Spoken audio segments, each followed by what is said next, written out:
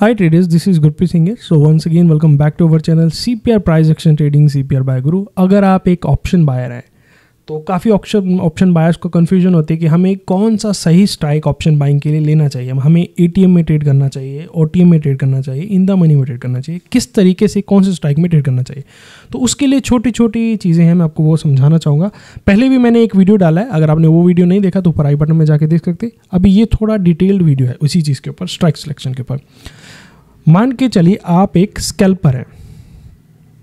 ठीक है, आप एक स्कैल्पर है। बेसिकली स्कैल्पर कौन होता है? जैसे कि जो अपने टाइम ट्रेड में थोड़ा टाइम के लिए रहता है, यानी कि आप ये बोल सकते हैं कि तीस सेकेंड एक मिनट ज़्यादा से ज़्यादा डेढ़ मिनट ठीक है? तो स्कैल्पर कैटेगरी में आता है। तो स्कैल्पर बेसिकली क्या करते हैं? बड़ी क्वांटिटी में ट्रेड करते हैं, जैसे कि बीस लॉट ले लिए या पचास लॉट ले लिए, ठीक है? तो उसमें वो कम पॉइंट कैप्चर करते हैं, क्योंकि उनके पास बड़ा लॉट होता है, या फिर मैक्स टू मैक्स कुछ ऐसे स्कैल्पर भी होता है जो सौ लॉट में ट्रेड करते हैं, ठीक है? वो स्कैल्पर कैटेगरी में आते हैं।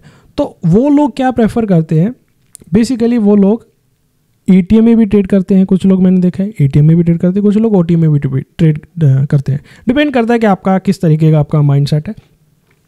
लेकिन अगर आप एक स्कैल्पर हैं, आपको पता है कि जिस ट्रेड में आप एंटर करने वाले, उसमें आपको शॉर्ट शॉर्ट मूवमेंट मिलने वाला है और आपको पता है कि मेरे को इस ट्रेड में शॉर्ट शॉर्ट मुझे दस या बारह या पंद्रह पॉइंट मिल जाएँगे तो आप ए में भी ट्रेड कर सकते हैं ओ में भी ट्रेड कर सकते हैं। ठीक है?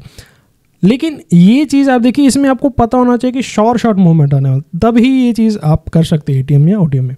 ठीक है, लेकिन मैं आपको ये करूँगा ओ से ज़्यादा आप एटीएम पे रिलाई करिए।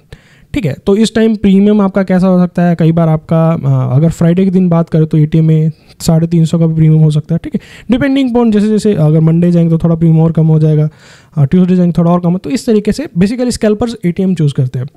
देन उसके बाद दूसरा चीज़ आता है ट्रेंड राइडर। ठीक है, ट्रेंड राइडर। कुछ लोग जैसे होते कि उन लोगों को पता है कि आज मार्केट में शॉर्ट कवरिंग होने वाला है जहाँ कोई बड़ा मूवमेंट आने वाला, कोई बड़ा रैली कैप्चर करते। तो मैं अक्सर मैं आपको अपना बताऊँ तो मैं बेसिकली एटीएम में भी ट्रेड करता हूँ उसके लिए ओ में भी ट्रेड करता हूँ। इसमें भी प्रीमियम का सिलेक्शन होता है। मैं बेसिकली अगर मुझे पता है कोई ट्रेंड मूवमेंट आने वाला है, या शॉर्ट कवरिंग आने वाला तो उसमें मैं बेसिकली प्रीमियम जो लेता हूँ, डेढ़ सौ से दो सौ वाला प्रीमियम लेता हूँ। ठीक है? क्योंकि मुझे पता कि मुझे इसमें मान के चलिए तीन सौ पॉइंट का मुँह मिल गया। ठीक है? तो दो सौ वाली चीज़ मेरी पाँच सौ हो जाएगी। डेढ़ सौ वाली साढ़े चार सौ हो जाएगी। सो so, इस तरीके से अगर ट्रेंड राइड करें तो आप इस तरीके के प्रीमियम में एटीएम या ओ में जो भी आपकी हो इच्छा आप उस तरीके से ट्रेड कर सकते लेकिन प्रीमियम आप मोस्ट प्रोबली मैं ऐसा सिलेक्शन करता हूँ। ठीक है? देन उसके बाद तीसरा जो आता है काइंड kind ऑफ़ of, जैसे थोड़ा साइडवेज मार्केट जैसे मान के चलिए कल ट्रेंडिंग था मार्केट सपोज़ करिए आपका आज तीस तारीख, कल उनतीस तारीख को आपका मार्केट ट्रेंडिंग था। ठीक है? आपको पता है कि शायद आज मार्केट कल मार्केट ट्रेंडिंग था, लेकिन आज मार्केट में मेरे को मूवमेंट कम मिल सकती है। मतलब मार्केट साइडवेज होने के चांसेस ज़्यादा है। ठीक है? तो उस केस में आप लोग क्या कोशिश करिए, क्योंकि इस टाइम पे डी के सबसे ज़्यादा होगा। तो मैं ये प्रेफर करता हूँ, इस टाइम पे मैं आई में ट्रेड करना प्रेफर करता हूँ। यानी कि मैंने आपको इसका रीज़न बता दिया तो इस टाइम पे मैं आई में ट्रेड करना पसंद करता हूँ, क्योंकि इस टाइम प्रीमियम डी के जाता तो आई में भी क्या लेता हूँ सपोज़ करिए, जैसे अपना बैंक निफ्टी में फोर्टी फाइव थाउज़ेंड पे चल रहा है अभी। ठीक है, ये हमारा एटीएम है। ठीक है तो मैं क्या करूँगा, इससे तीन इंदा मनी जाऊँगा।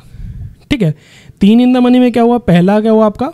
फोर्टी फोर नाइन हंड्रेड ठीक है फोर्टी फोर एट हंड्रेड और फोर्टी फोर, सेवन हंड्रेड। तो मैं किसमें जाऊँगा? मैं तीन इन द मनी यानी कि इस स्ट्राइक से इस स्ट्राइक में ट्रेड करना पसंद करूँगा। क्योंकि कहीं ना कहीं अगर डी के होगा तो मेरा जो प्रीमियम हो कम डी के हो प्रीमियम कम गलेगा तो इसलिए मैं इन द मनी में प्रेफर करूँगा। तो आप ये सो, आप यहाँ पर लिख दे तो मैं तीन strike in the money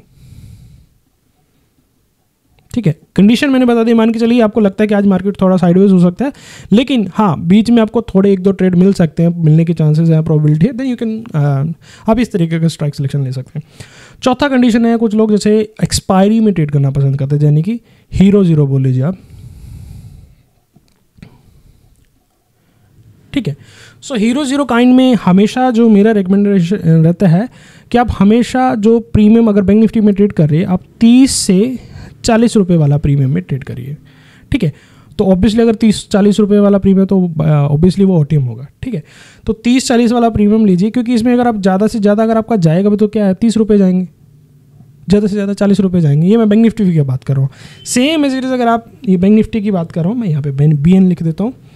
same as अगर मान के चलिए यही चीज़ आप निफ्टी में ट्रेड करें तो उस टाइम प्रीमियम कितना आप हार्डली पंद्रह से बारह से पंद्रह या फिर मैक्स टू मैक्स बीस रुपये भी जा सकते। तो ये भी आपका एक काइंड ऑफ़ ओटीएम हुआ। तो ये निफ्टी का हो ठीक है? तो मैं यही कहूँगा कि बीस रुपये भी जाने की जो नहीं आप राउंड फिगर लेके चलिए, पंद्रह रुपये का प्रीमियम निफ्टी में अगर ट्रेड करना है तो हीरो ज़ीरो तो इस काइंड ऑफ़ प्रीमियम लिए। डायरेक्शन कोई भी हो सकता है पुट पुट भी हो सकता है मान चलिए डायरेक्शन मूव पुट साइड आना तो पुट का आप पंद्रह रुपये का ओ स्ट्राइक ले सकते हो, जिसका प्रीमियम पंद्रह रुपये हो। सेम एज अगर बैंक निफ्टी में कोई मूव आना आने वाला कॉल साइड तो बैंक निफ्टी में कॉल साइड वो स्ट्राइक का प्रीमियम लीजिए ओ स्ट्राइक वो लीजिए, जिसका प्रीमियम तीस से चालीस रुपये जैसे एग्ज़ाम्पल के लिए मैं आपको आज बताता हूँ। मैंने आज एक ओ स्ट्राइक में ट्रेड किया। मैं आपको वो चीज़ दिखाता हूँ। सो ये देख लीजिए, मैंने इसमें basically forty four four thousand four hundred में लिया तो ये उस टाइम पे ए था। तो देखिए ये मेरा, पहले मैंने इसमें लिया था, चालीस रुपये में इसमें मैंने लॉस बुक किया, ठीक है? देन आप देखिए मैंने फिर दोबारा जब ये आ, मुझे लगा कि इसमें मूवमेंट आने वाला तो मैंने पंद्रह रुपये में बाई किया और मैंने साठ रुपये में काटा और देन फिर उसको फिर लिया। मैंने दो बार इसमें एंट्री किया तो लगभग मैंने इसमें जो लॉस किया था वो मेरा लॉस भी निकला उससे चार गुना मैंने पाँच गुना पैसा बनाया यहाँ पे। तो इस तरीके से अगर हीरो ज़ीरो करना तो आप हमेशा छोटा प्रीमियम लीजिए जिसमें आपको अगर वो ज़ीरो होता है तो आपको ज़्यादा दुख नहीं होगा ठीक है? सो अगर यहाँ पे आप ए लेते हैं या ओ लेते हैं, जैसे ये स्पाइक आया, क्योंकि इस टाइम में प्रीमियम डी के बहुत फास्ट होता है तो इसमें आप अच्छा लॉस कर सकते हो। इसीलिए जो एक्सपायरी में जो रिकमेंडेड है तो आप तीस से चालीस रुपये वाला प्रीमियम पकड़िए बैंक निफ्टी में, और निफ्टी में आप बेसिकली पंद्रह या बारह रुपये वाला प्रीमियम पकड़ सकते सो इस तरीके से आप मल्टीपल स्ट्राइक सिलेक्शन कर सकते हैं, अगर आप एक ऑप्शन बायर हैं तो इस तरीके से आप प्लान कर सकते हैं कि आपका ट्रेडिंग किस टाइप का है। तो ये चीज़ मैंने सारी डिटेल में बता दी तो ये चीज़ आपको अक्सर हेल्प करेंगी डेली रूटीन ट्रेडिंग में। उम्मीद करता हूँ ये वीडियो अच्छा लगा अच्छा लगा तो लाइक करिए शेयर करिए धन्यवाद, नमस्कार, शुक्रिया, मिलते अगली वीडियो में।